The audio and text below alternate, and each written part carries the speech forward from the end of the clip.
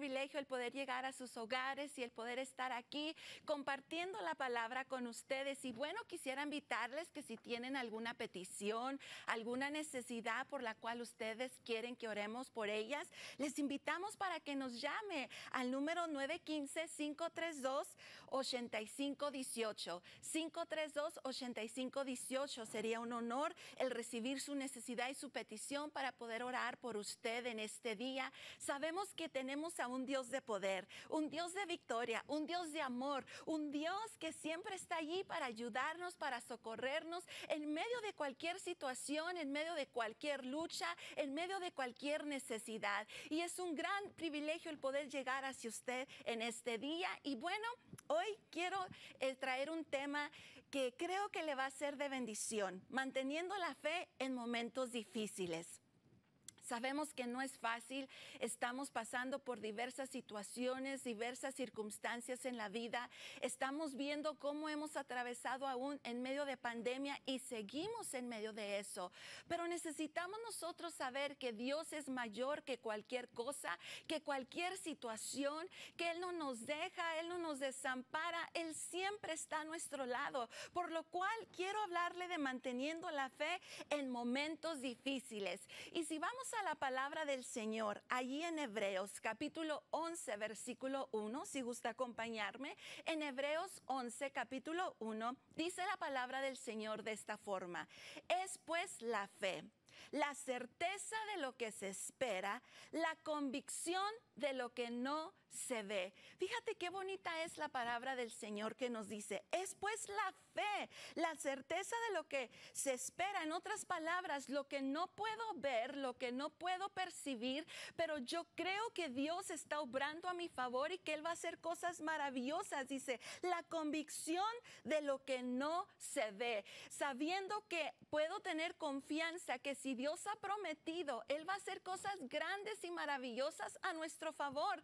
que Él está ahí presto y listo para socorrernos, para ayudarnos, para, para levantarnos, para decirnos tú puedes. Por eso me encanta la palabra del Señor, porque cuando menos pensamos poder, Él está allí a través de su palabra diciéndonos todo lo puedes en Cristo que te fortalece. Es, es lo maravilloso de nuestro Señor que Él está allí presto y listo para ayudarnos pero ¿qué sucede cuando, cuando Dios no obra? ¿Qué sucede cuando Dios no obra de acuerdo a lo que nosotros queremos? ¿Será que Dios no está allí? ¿Será que Dios no nos escucha? ¿Será que Dios nos falló? ¿Será que Dios nos sana? ¿Será que Dios no existe? Muchas de las veces nos enfrentamos con estas preguntas y, escuchamos a personas que hacen estas preguntas cuando no ven respuesta, cuando no ven resultado. Pero hoy yo quiero decirte que en medio de todo ello, Dios sí existe. Y es cuando más necesitamos nosotros creerle a Dios. Es cuando necesitamos nosotros saber que Dios es real. Cuando nada hace sentido. Cuando todo pareciera que está roto. Cuando todo pareciera que está terminado. Cuando todo pareciera que no tiene sentido, que no hay esperanza. Se lo dice alguien que ha atravesado por el fuego. Alguien que ha sido procesada. Alguien que ha atravesado por diversas situaciones en mi vida, yo puedo decirte que Dios sí existe y que Dios es real. No siempre vamos a ver el resultado que nosotros queremos, por más que lo anhelemos, por más que lo deseemos. Yo te puedo decir, y, y era lo que Dios plantaba en mi corazón en este día, que yo quisiera compartir contigo mi vida, lo que Dios ha hecho en mí, lo que yo he experimentado a través del poder y el mover de Dios. Porque sabes que Dios es real, Dios es verdadero. Dios no nos deja ni nos desampara jamás. Él siempre está a nuestro lado. Pero ¿qué sucede? Que a veces hemos entendido tal vez y hemos pensado que las cosas, si caminamos con Dios, no deben de suceder. ¿Por qué? Porque estamos en Cristo, porque le hemos creído. Pero la palabra del Señor nos dice, y es tan clara cuando el Señor nos habla, y Él nos dice, cree en el Señor Jesucristo, amén. Y dice, y serás salvo tú y tu casa. Pero también el Señor nos habla y nos dice, cuando tú crees en Él, dice la palabra del Señor, dice, pero confiados, dice, en este mundo tendréis aflicciones, dice, pero confiad que yo estoy contigo. Entonces, el Señor nos dice, cuando crees y vienes a mí, Él viene y deposita su Espíritu Santo dentro de nosotros. Él viene y nos abraza, nos abriga, nos ayuda a seguir adelante. Entonces, sabemos que Dios es tan real y que Él es verdadero y que jamás nos deja y siempre está a nuestro lado. Por lo cual Él nos dice que, podamos, que podemos creer en Él, que Él no nos deja ni nos desalienta, sino que Él va a estar con nosotros, no importa por qué situación nosotros estemos atravesando. Eso es lo maravilloso de nuestro Dios, que tenemos esa certeza y esa confianza de saber que Dios está a nuestro lado. Aleluya. Por lo cual, cuando nosotros entendemos esto, que no importa por qué situación nosotros atravesemos, no importa por qué valle de la vida nosotros estemos cruzando, Dios está allí para socorrernos, Dios está allí para ayudarnos, Dios está allí para alentarnos. Aleluya. Eso es lo más maravilloso de nuestro Dios. Yo te puedo decir que yo estoy aquí por la misericordia de Dios. Te decía, yo soy testimonio del poder de Dios. Yo soy testimonio de lo que Dios hace. Yo no debería de estar aquí porque hace aproximadamente como unos 11 años más o menos que tuve una experiencia que te puedo decir que marcó mi vida. En ese tiempo yo por primera vez estaba esperando a mi primera hija, a mi niña, que le puse por nombre Melodía Angelical, Melody Angelique. Y bueno, ella este, estaba esperando yo después de 10 años de no tener bebés. Y en ese transcurso del tiempo yo me puse mala y en ese momento fui internada al hospital. Y cuando fui internada me dijeron que iba a estar ahí por tres meses. Y estando ahí en esos tres meses, este, perdón, en esa semana yo me puse bastante grave. Y en ese tiempo fue cuando Dios empezó a tratar con mi vida. Yo ya conocía del Señor, yo ya le conocía a Él, yo sé quién es. Y estando ahí en esa cama postrada, ahí fue donde el Señor empezó a tratar con mi vida y Él empezó a traer un llamado a mi vida. Ahí es donde eh, pude entender realmente cuando el Señor nos dice que Él es el que nos da la vida y Él es el que la quita. El Señor es el que nos da la vida y Él es el que la quita. En sus manos está la vida. Y en ese momento, a través de la voz del Espíritu Santo, el Señor me mostraba cuán frágil es la vida. La vida, dice la palabra del Señor, que es como una flor que hoy está y mañana se marchita. Y yo recuerdo que estando postrada en esa cama, el Señor me enseñaba todo esto, pero venía la voz del Espíritu Santo que me decía, yo soy el que da la vida y yo soy el que la quito. Yo te di la vida no para que fueras tras tus propias ambiciones, sino para que me sirvieras. Para eso te he dado la vida. Y yo podía este, entender exactamente qué es lo que Dios estaba tratando conmigo. Recuerdo tan claro en el momento que la muerte llegó por mí. Es algo espantoso que pude sentir. Yo no sé si usted ha sentido en una ocasión que la muerte llega por usted. Yo en ese momento, en ese instante, llegó la muerte por mí. Pude sentirlo tan palpable y tan claramente. Y recuerdo que en ese momento dije, Señor, yo me determino a que te voy a servir. Yo te voy a servir, Señor. Manda tu Espíritu Santo sobre mí. Recuerdo tan claro que estando postrada en esa cama, yo podía sentir una presencia tan especial por parte de Dios que vino a invadir mi vida. Yo recuerdo estando ahí postrada en esa cama, yo le dije al Señor, manda tu espíritu, Señor, manda tu espíritu sobre mí.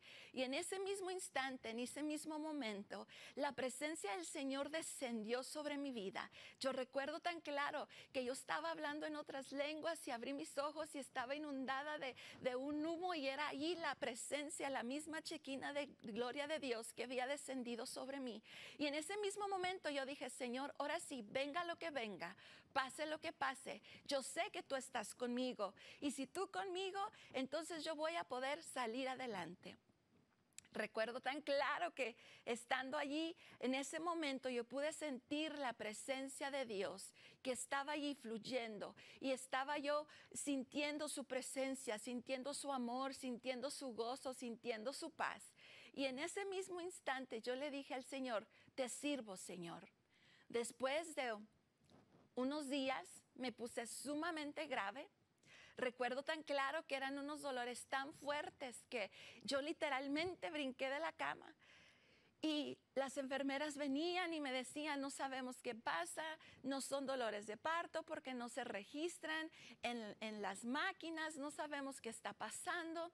Recuerdo que para la madrugada el sábado me estaban llevando a hacerme una cesárea porque estaban perdiendo el corazón de mi hija.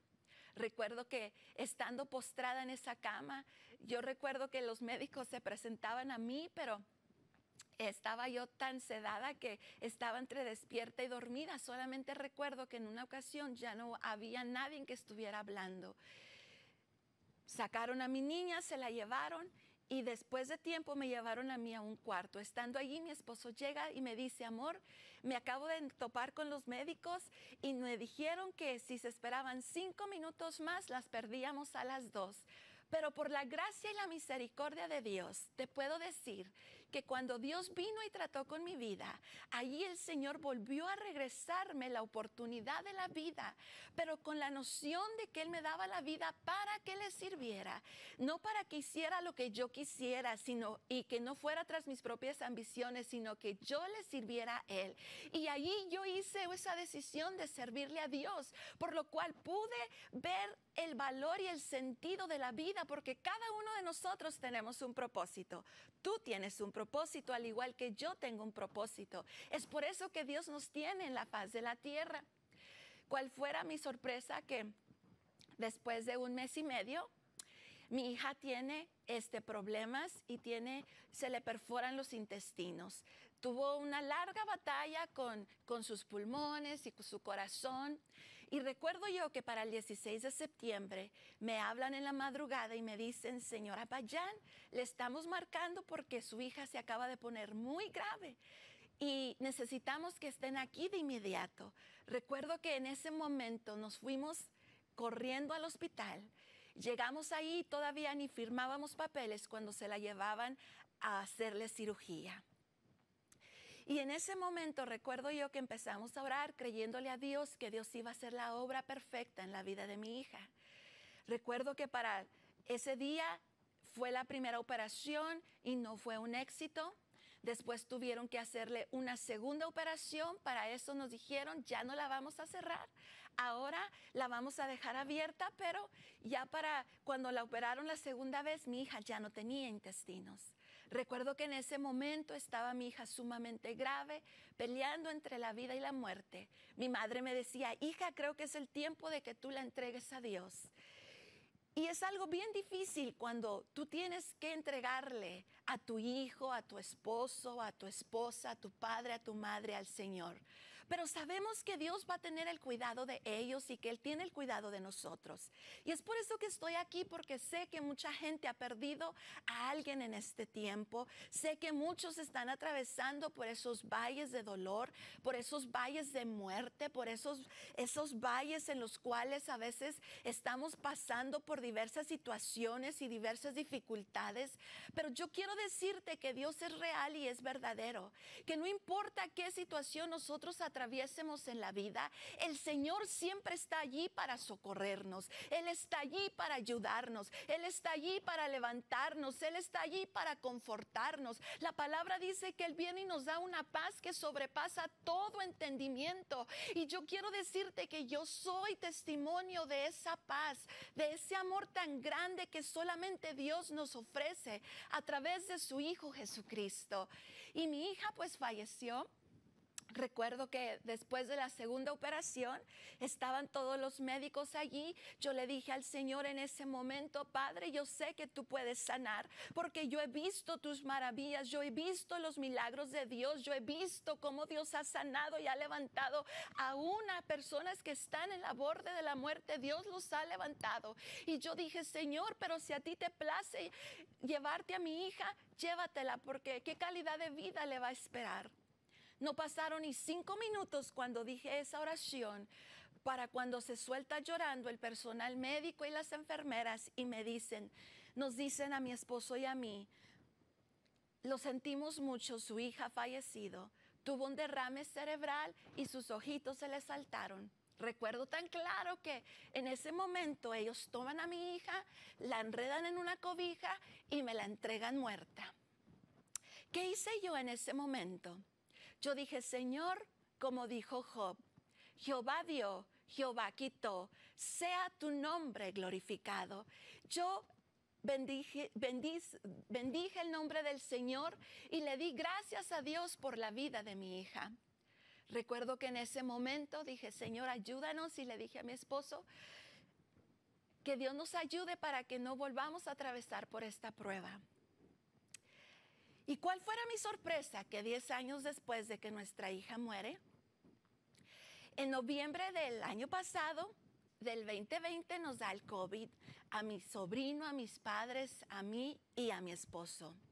Recuerdo yo tan claro que fue tan difícil esa etapa de nuestra vida porque porque estábamos sumamente malos. Gracias a Dios porque Dios estuvo bien y en su misericordia que mis padres no se enfermaran tanto, pero su servidora y mi esposo sí nos enfermamos bastante grave. Recuerdo yo que estaba yo postrada en la cama y yo lloraba y decía, Señor, ayúdanos porque esto era algo mayor, era fuerte, la guerra espiritual, una lucha tremenda, algo que si usted no ha atravesado por el COVID, gloria a Dios, pero creo que los que hemos atravesado y los que nos dio bastante fuerte, podemos saber y, y supimos sentir la guerra espiritual tan grande que fue, pero gracias a Dios porque hay un pueblo que, que nos ama, gracias a Dios porque hay un pueblo que gime, porque clama. La palabra del Señor nos dice, clama a mí, yo te responderé y te enseñaré cosas grandes y ocultas que tú no conoces. Había un pueblo orando por nosotros, había un pueblo gimiendo por nosotros. Y yo recuerdo que estaba tan enferma yo y tuve que salir en dos ocasiones porque mi esposo se puso más grave y lo tuve que llevar al hospital. Y yo hirviendo en calentura y bueno, o sea, pasando por una situación bastante difícil, pero recuerdo yo que en ese momento, en, uno de los días, ya después de tantos días, estaba yo tan débil y recuerdo que mi madre pensaba que yo me iba a morir, algunas personas pensaban que me iba a morir, pero recuerdo tan claro que me habla una pastora, amiga mía, y me dice, pastora Raquel, mi, mi, mi hermano va a orar por usted. Y recuerdo que lo puso en el teléfono. Y el hermano empieza, el pastor empieza a orar por mí. Y jamás se me van a olvidar esas palabras que él dijo. Cuando él me dijo, Pastora Payán, el Señor la conoce desde antes de la fundación del mundo. Y él sabía que le iba a dar el COVID. Pero ahora mismo el Espíritu Santo que está dentro de usted está activado y empiece a recibir vida. Ese Espíritu Santo ahora empieza a cobrar vida dentro de usted. Y ahora reciba su sanidad en el nombre de Jesús. Yo recuerdo que cuando él dijo eso fue como vino un aliento, un soplo de vida a mi vida, de tal forma que yo empecé a alabar y glorificar el nombre del Señor y pude sentir que volví de la muerte, literalmente, de la muerte a la vida, porque Dios es tan grande y maravilloso que Él es real. Su mano no se ha cortado para con nosotros, Él sigue haciendo milagros y maravillas, Él sigue sanando, Él sigue restaurando, Él sigue haciendo su obra maestra. Si nosotros tan solamente le podemos creer a Dios, porque cuando nosotros nos determinamos a creerle a Dios y nosotros nos determinamos a que vamos a, a recibir ese milagro, entonces es allí cuando Dios empieza a operar y obrar en nuestras vidas y en nuestros cuerpos, en nuestros corazones, en nuestras mentes, porque la palabra del Señor nos dice que Él llevó todas vuestras enfermedades en la cruz del Calvario. Y en ese momento yo empecé a respirar vida, empecé a respirar aliento, el Señor restauró mi vida una vez más y yo le doy gracias a Dios. Por eso es que estoy aquí alabando y glorificando su nombre porque Dios es tan bueno y Él es tan real y lo mismo que ha hecho por mí, Él quiere hacer por ti en este día. Dios puede sanarte, Dios puede levantarte, Dios puede hacer su obra perfecta. Y tú dirás, pero ¿qué de los que murieron? Bueno, yo te puedo decir que Dios me regresó a mí la vida, pero al poco tiempo mi esposo estaba internado en el hospital. Jamás se me olvidará esa fecha, noviembre 24 del 2020. Recuerdo que teníamos días que estábamos en el teléfono día y noche sin colgar. Yo allí orando por él, estuvimos alabando y glorificando su santo nombre. Y recuerdo yo que este, ese día, el 24, mi esposo se puso sumamente grave, ya una vez más estaba batallando para respirar. Él me decía, amor, me siento peor que cuando llegué, ya tenía él como 13 días internado en el hospital. Y yo recuerdo que los, las enfermeras entraron y los médicos y empezaron a hablar conmigo y me dijeron, señora Payán, tenemos que intubar a su esposo porque si no lo intubamos se va a morir de asfixia. Y recuerdo que él me decía, vamos a hacer este último intento para que mis pulmones sean sanos y yo pueda regresarme a casa.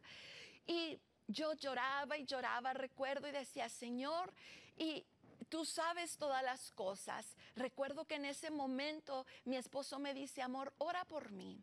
Y yo me pongo a orar por mi esposo y le digo, Señor, tú conoces la vida de mi esposo. Tú conoces, Señor, nuestro anhelo y nuestro deseo y sabemos que tú puedes sanar, que tú eres el mismo ayer, hoy y por todos los siglos, Padre. Pero hágase tu voluntad en la vida de mi esposo. Y en ese momento se lo llevan a los cuidados intensivos, le hacen el primer intento de ponerle una máscara, parece ser que no, no pudo, entonces me llaman y me dicen, señora Payán, este, le hablamos para decirle que tuvimos que intubar a su esposo. Al rato le van a marcar y le van a decir cuál es, cómo está haciendo él. Yo recuerdo que, que no me hablaban y no me llamaban, entonces yo llamé y les dije, estoy hablando porque quiero saber esta información sobre mi esposo y ellos decían, está estable, ya está intubado, lo estamos cuidando. Dije, muy bien, entonces me voy a meter a bañar. Cuando me estoy bañando, de repente empiezo a sentir que tiemblo y tiemblo y tiemblo y tiemblo. Un temblor que tomó control de mi vida. Me salgo y me voy a recostar. Apenas si me voy a sentar en la cama cuando recibo una llamada y me dicen, señora Payán, le estamos llamando para decirle que su esposo acaba de tener un paro cardíaco. Y ahorita hay un equipo de médicos que están trabajando en él, tratando de traerlo para atrás a vida. Le llamamos cuando este sepamos lo que va a suceder. Recuerdo que yo en ese momento empecé a gemir, empecé a clamar, empecé a llorar. Ahora sí, de una forma diferente. Ahora sin un grito, luchando y eh, peleando por la vida de mi esposo. Recuerdo que hubo un instante en el que yo empecé a hablar en otras lenguas y estábamos allí clamando y pidiéndole al Señor que tuviera misericordia, que regresara mi esposo para atrás.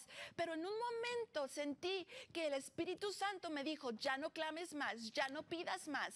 Y recuerdo que en ese momento yo quedé callada, pero sí lloraba porque somos humanos y podemos llorar. La palabra del Señor nos enseña que podemos llorar. El mismo Señor Señor Jesús lloró. Pero déjame te digo que una cosa es llorar y llorar tu proceso, sí, pero no puedes quedarte en esa situación. Si tú has perdido a un ser querido, a un ser amado, necesitas tener el proceso de llanto, sí, de sufrimiento, de dolor, pero también necesitas dejar que el Señor venga a sanar tu vida, que Él venga a sanar tu corazón, que Él venga a ayudarte, porque el Señor está con nosotros, no importa en qué momento, en qué situación, qué estemos atravesando. Él está allí para socorrernos cuando nosotros lo dejamos a Él. Él no quiere que tú te hundas en depresión, que tú estés lleno de ansiedad. El Señor quiere quiere sacarte de eso, Él quiere ayudarte a, salir de aquello y Él quiere llenar los vacíos y los huecos de tu vida, de tu corazón, porque si nuestros seres queridos dejan huecos en nuestras vidas y en nuestro corazón. Yo recuerdo en ese momento, yo estaba hecha un llanto cuando me llaman y me dicen, señora Payán, lo sentimos mucho, su esposo acaba de fallecer. Yo recuerdo que me eché en mi cama y estuve llorando.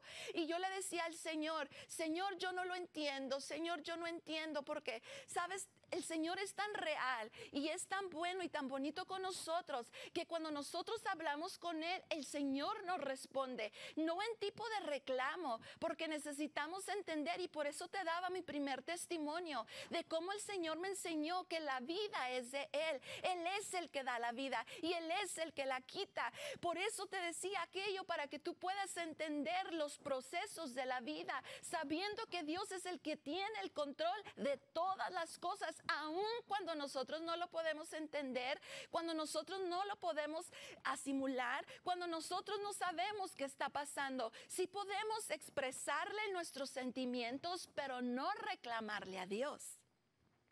Yo le decía al Señor, yo no entiendo todo esto. Yo no lo entiendo, Señor. No entiendo por qué te llevaste a mi esposo. Ayúdame a entenderlo. Le decía yo al Señor, ¿por qué te llevaste a mi Feli? Mi esposo se llamaba Felipe. Y yo decía, ¿por qué te llevaste a mi Feli? Y recuerdo tan claro cuando la voz del Espíritu Santo viene y me dice, porque no era tuyo, era mío. Aleluya. El Señor a través de su Espíritu Santo me dijo, nunca fue tuyo, era mío. Y yo lo entendí tan claro. Y en ese momento yo pude decirle al Señor, gracias Señor, gracias por esos 20 años que me permitiste estar al lado de mi esposo. Gracias por la vida de mi esposo Felipe, Señor. Yo recuerdo en ese momento que pude ver la vida de una forma diferente. Muchas de las veces nos queremos aferrar a diversas a, nuestras, a nuestros seres amados, a diversas cosas, a, a las personas, pero necesitamos entender que todo es de Dios, todo es de Él, todo provee de Él. Y el Señor está aquí para abrazarte, para amarte, para decirte que no estás solo, que no estás sola, que Él está allí a tu lado, Él está dispuesto a ayudarte, a levantarte, a socorrerte, a abrazarte, a llenar los huecos de tu vida, de tu corazón. Y sabes que he aprendido una cosa, que entre más pronto nosotros aprendamos a creerle a Dios, es cuando vamos a ver la mano de Dios moverse a nuestro favor. Es cuando vamos a ver la respuesta de Dios operando a favor nuestro. Es como la llave que se nos da, el creerle a Dios. Es la llave que se nos da para nosotros poder ser libres aún de nuestras emociones, aún de nuestras aflicciones, porque la palabra el Señor nos dice que Él nos librará de todas esas aflicciones. Y yo soy testimonio del poder de Dios. Por eso estoy aquí contándote mi vida, mi testimonio, para que tú puedas creer que Dios es real y verdadero y que Él no se ha olvidado de ti, que Él está allí presto y listo para ayudarte, para socorrerte. Lo podemos ver a través de la Biblia. Lo vemos allí en el capítulo 3, versículo 3 del libro de Daniel. Vemos a tres jóvenes, ellos le creyeron a Dios a pesar de, a pesar de sus circunstancias, a pesar de lo que estaban viviendo. Ellos obedecieron a Dios antes que al mismo rey, antes que lo que la gente dictaba, antes que el rey, lo que el rey dictaba. Ellos aprendieron a creerle a Dios. Y eso es lo que quiero estresarte. Necesitamos aprender a creerle a Dios. Es tan hermosa la palabra y nosotros la podemos recitar, la podemos decir y, la podemos, ¿verdad? Este, declarar. Porque cuando decimos todo lo puedo en Cristo que me fortalece, tú estás declarando la palabra de Dios. Y es tan hermoso cuando nosotros declaramos la palabra, pero es una cosa declarar la palabra y otra cosa es creerla y vivirla. Y cuando tú aprendes a aplicarte la palabra y creerla, es allí cuando tú vas a ser fortalecido, es allí cuando tú vas a ser levantado, es allí cuando vas a ver la gloria de Dios resplandecer sobre tu vida. Yo te puedo decir que en esta etapa de mi vida, aunque mi esposo tiene apenas ocho meses, que se fue a estar en la presencia del Señor. Y recuerdo tan claras sus palabras en una ocasión que estábamos ministrando a una pareja y, eh, estaba ellos diciendo, pero ¿qué si nos morimos? Yo recuerdo tan claro que mi esposo dijo en ese momento, y si nos vamos, gloria a Dios. Él decía, gloria a Dios si nos vamos. ¿Por qué? Porque allá en el cielo ya no va a haber llanto, ya no va a haber dolor, ya no va a haber sufrimiento. Y dice la palabra del Señor que cuando Jesús se fue dijo que él iba a ir a preparar lugar para nosotros, para que donde nosotros, para que donde él esté, nosotros también pudiéramos estar. Y nos dice su palabra que es un lugar hermoso donde hay calles de oro. Dice que el mar es de cristal donde ya no va a haber enfermedades, por lo cual podemos regocijarnos en la presencia de Dios y ahora yo puedo dar gloria a Dios. ¿Por qué? Porque yo sé que Él está en la presencia de Dios y mientras nosotros sigamos aquí en la faz de la tierra tenemos que cumplir nuestro propósito y cómo vamos a cumplir ese propósito creyéndole a Dios. Y te decía de estos tres jóvenes ahí en Daniel, ¿por qué? Porque ellos aprendieron a creerle a Dios, a pesar de que había sido dado una una dictadura, de que tenían que adorar una estatua. ¿Cuántas veces el mundo nos presiona a hacer cosas que son, están fuera de la voluntad de Dios, que, que no va conforme a su palabra? Pero nosotros en este tiempo, hoy más que nunca, necesitamos creerle a Dios y tomarnos de su palabra, tomarnos de Él, agarrarnos de Él. Les decía ayer en la prédica, tenemos que abrazarnos de la cruz de Cristo. Por eso el Señor Señor Jesucristo nos dice en su palabra, toma tu cruz y sígueme. ¿Ves? La cruz no es tu esposo, tu esposa, tus hijos, no. La cruz de Cristo es la que nosotros tenemos que tomar, abrazarnos de ella y caminar de acuerdo a su palabra en fe, crucificando nuestra propia carne, crucificando nuestros propios anhelos, nuestros propios deseos, nuestros propios sentimientos muchas de las veces, porque necesitamos creerle a Dios.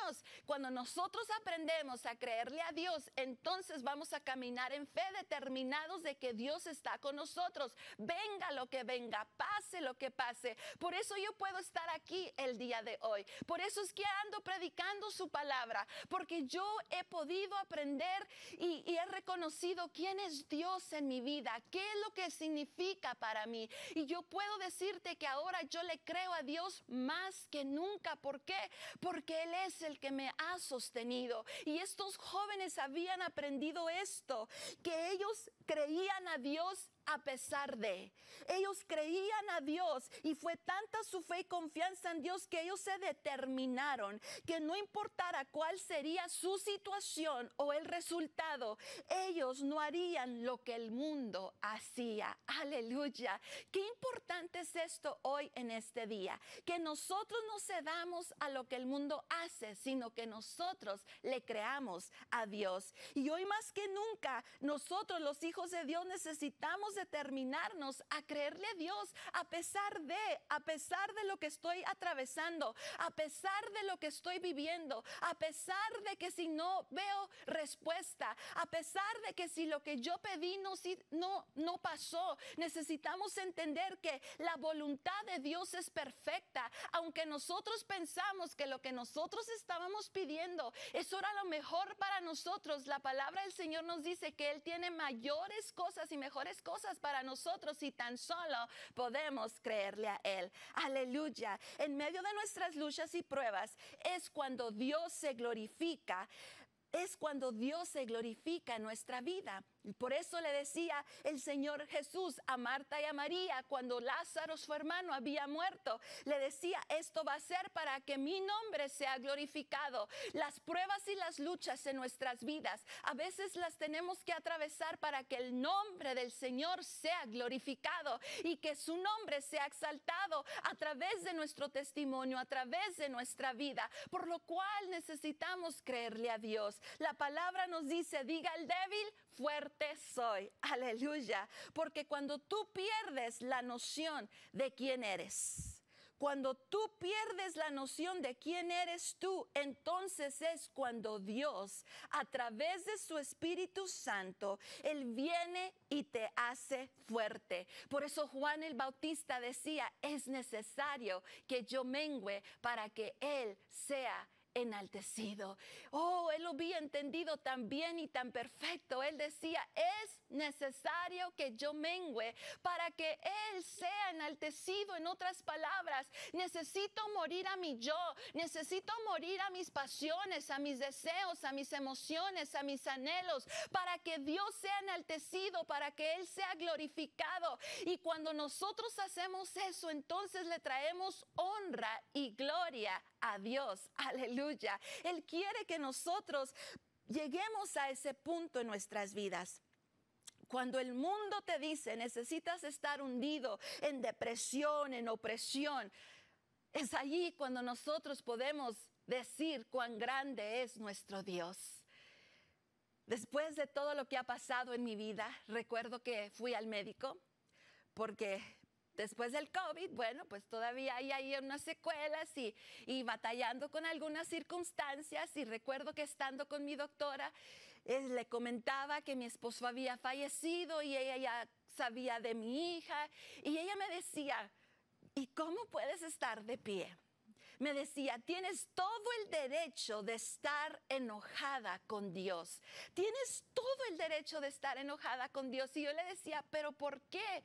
Hemos solamente de recibir lo bueno de Dios y no lo malo, aunque Dios no fue el causante de ello y necesitamos entender ese punto. Vivimos en un en un mundo imperfecto donde existe la maldad, donde existe el pecado y por causa de todo eso hay enfermedad y la enfermedad viene y ataca nuestras vidas, ataca nuestros cuerpos, pero no quiere decir que es por causa de que Dios lo creó o que Dios lo hizo, sino que en su perfecta voluntad Él permite que las cosas sucedan en nuestras vidas. Y eso es algo muy diferente y muy distinto, que Dios dice la palabra que ni las hojas de los árboles se mueven si no fuese su voluntad.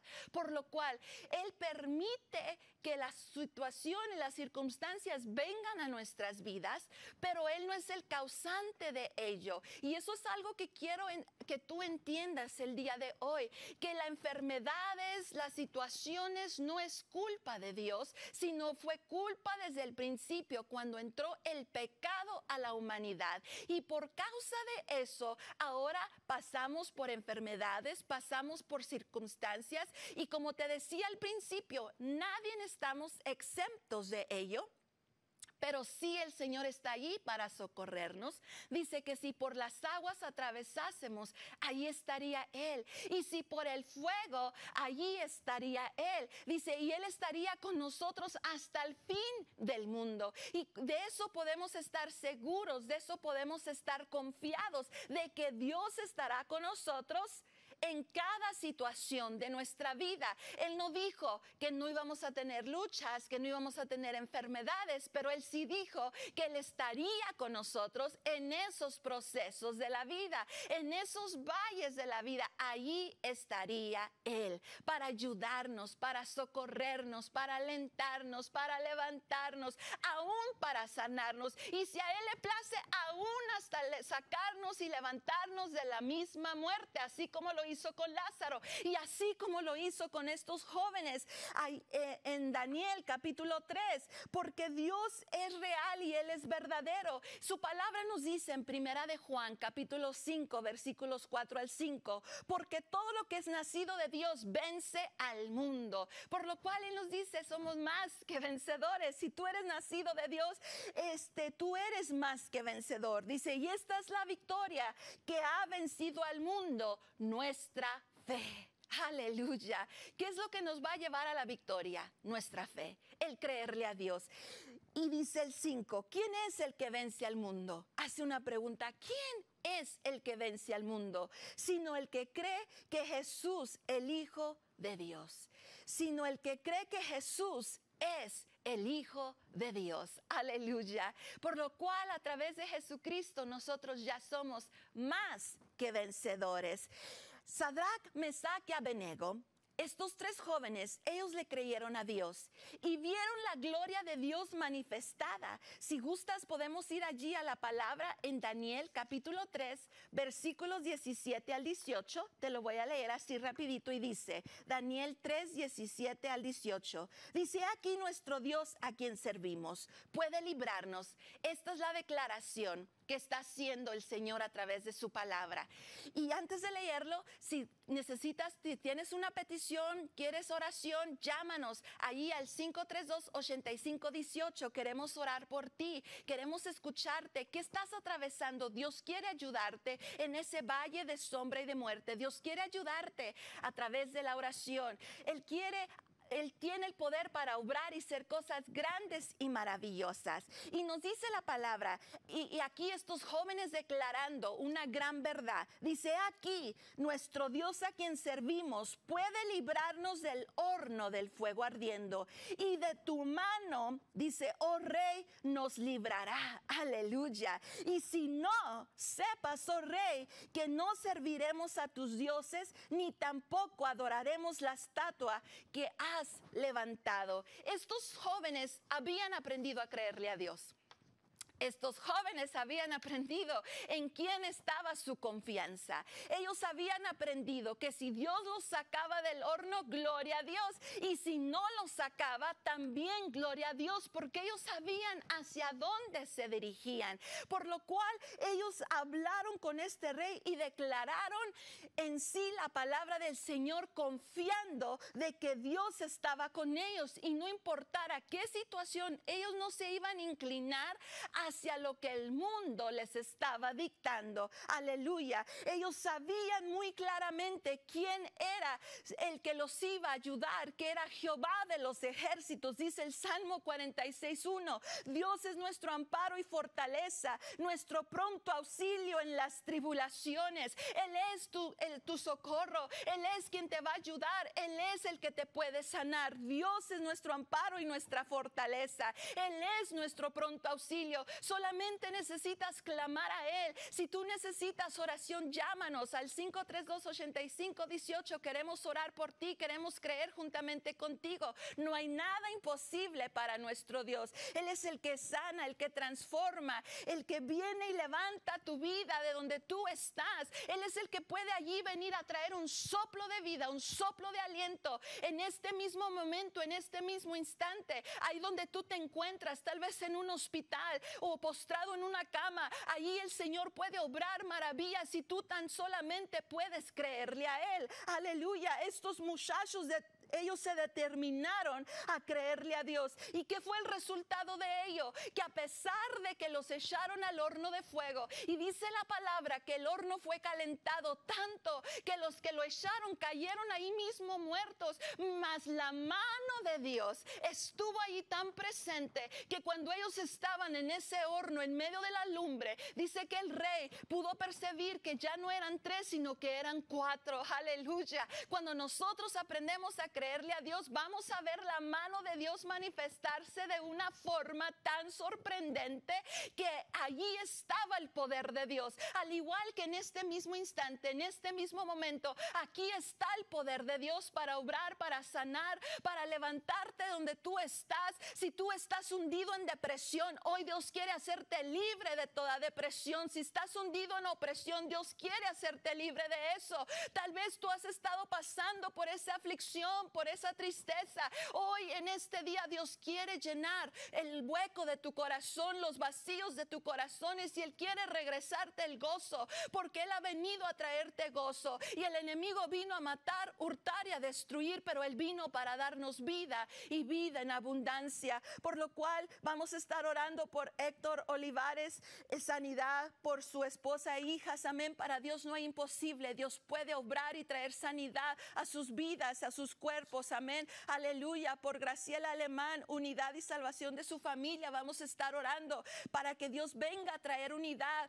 y salvación a las vidas. El Señor nos ha dado una palabra y una promesa. Cree en el Señor Jesucristo y serás salvo tú y tu casa. Tú tan solamente cree en el Señor Jesucristo y Él va a hacer la obra en la vida y en los corazones de ellos. Orando por Rosa Juárez, sanidad, circulación, tiroides. Amén. Para Dios no es imposible. Estamos, vamos a orar que Dios traiga completa sanidad a esa circulación, a la tiroides. Déjame te digo que yo soy testimonio del poder de Dios. A mí el Señor me sanó de la tiroides, por lo cual yo sé que Dios es grande y maravilloso para obrar y Dios puede obrar en tu cuerpo. Amén. Por María Berta, ataques de ansiedad. Para Dios no es imposible. Él es nuestra paz. La palabra del Señor nos dice, mi paz os dejo, mi paz os doy. No como el mundo la da, sino como yo la doy. Amén. Estamos orando por cada una de estas peticiones, de estas necesidades. Gracias por estar llamando. Este, vamos a estar orando, intercediendo por ti, porque sabemos que mayor es el que está con nosotros. Amén.